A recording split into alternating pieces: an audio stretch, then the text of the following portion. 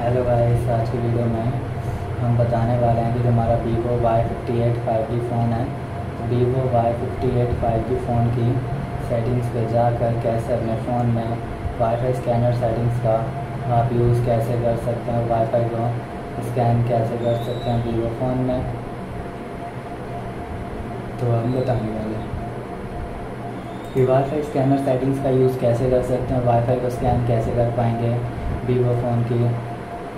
Settings पर जाकर तो आज हम बताने वाले हैं कि वाईफाई स्कैनर का यूज़ कैसे कर सकते हो, कर पाएँगे तो वीडियो स्टार्ट करने से पहले। हमारे चैनल को लाइक करें सब्सक्राइब करें, साथ में बेल आइकन दबाना ना भूलें। तो वीडियो स्टार्ट कर लेते हैं। तो आप देख सकते हैं कि आइकन्स हैं। शो हो रहे हैं। जैसे आप देखते हैं कि आपको स्वाइप करना है स्वाइप करती वाला आइकन ओपन इस पर जाकर वाईफाई स्कैनर का यूज़ कर सकते हैं वाईफाई को स्कैन करके भी कनेक्ट कर सकते हैं। सिंपली आपको सेटिंग्स पे जाना है। सेटिंग्स पे जाना इस पर जाकर अपने फ़ोन में वाईफाई स्कैनर का यूज़ भी कर सकते हैं, वाईफाई भी स्कैन कर सकते हैं अपने वीवो फ़ोन में। तो सिंपली देख सकते हैं।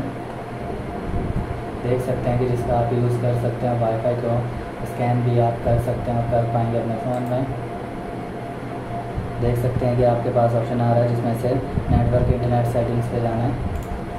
नेटवर्क इंटरनेट सेटिंग्स पे जाते हैं तो आप वाईफाई स्कैनर का यूज़ भी आप कर सकते हैं कर पाएँगे अपने वीवो फ़ोन में तो इसका यूज़ कर सकते हैं। तो यहाँ से वाईफाई को ऑन कर लेंगे तो वाईफाई ऑन करते हुए हैं कि स्कैनर है, आपका वाईफाई का शो हो जाएगा, जिससे वाईफाई स्कैन कर सकते हैं और कर पाएँगे अपने वीवो फ़ोन में तो इसका यूज़ कर सकते हैं। सिंपली यहाँ पर स्कैनर आ रहा है। स्कैनर के ज़रिए भी नेटवर्क को आप कनेक्ट कर सकते हैं। और कर पाएँगे वीवो फ़ोन में, जिसका भी यूज़ कर सकते हैं।